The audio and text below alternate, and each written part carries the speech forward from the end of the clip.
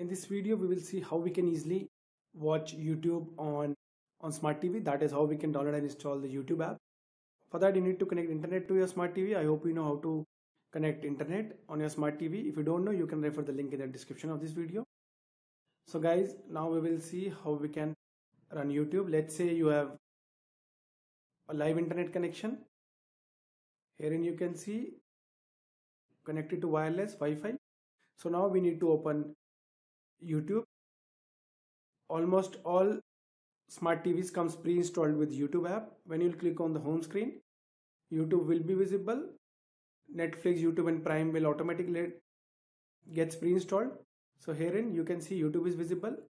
If you are unable to find this, let's say there is some issue, you can straight away go to the LG content store and from here you can easily install YouTube. But we will straight away go to YouTube.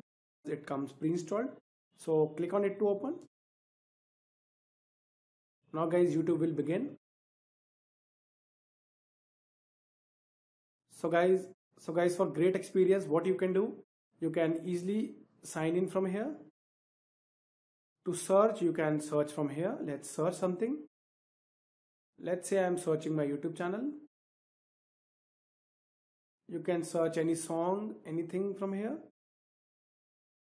So guys on typing, you can see my YouTube channel is visible. My YouTube channel is visible. You can straight away go to here by clicking on the icon or you can just click here to get the bigger experience. Now you can see my channel is visible and the videos. If you want to go to a channel on your smart TV, YouTube channel, you can just, you just need to click on the channel icon because herein you can see the name as, as well as the subscriber. So this is where you need to click on, click on it. On clicking, the YouTube channel is visible. Here is the channel pic. Here is the trailer. From here you can watch the trailer. From here you can subscribe if you are logged in. And the same which you see on your desktop is visible here.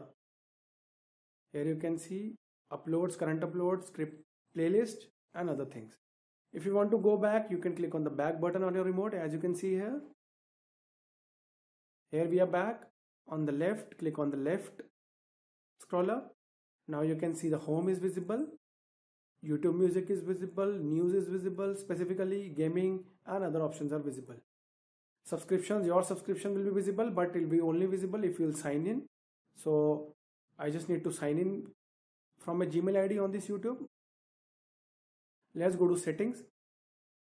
From here you can switch off autoplay or on on your YouTube smart TV. From here you have other options like you can change the language, location, clear watch history, clear search history and other options are visible. You can straight away reset the app if you don't want the search setting and other settings. You want a fresh installation of YouTube, you can just click on the reset app option. So guys, in this video we saw how we can run YouTube on a smart TV. If you like the video, do subscribe to our channel Amit Thinks.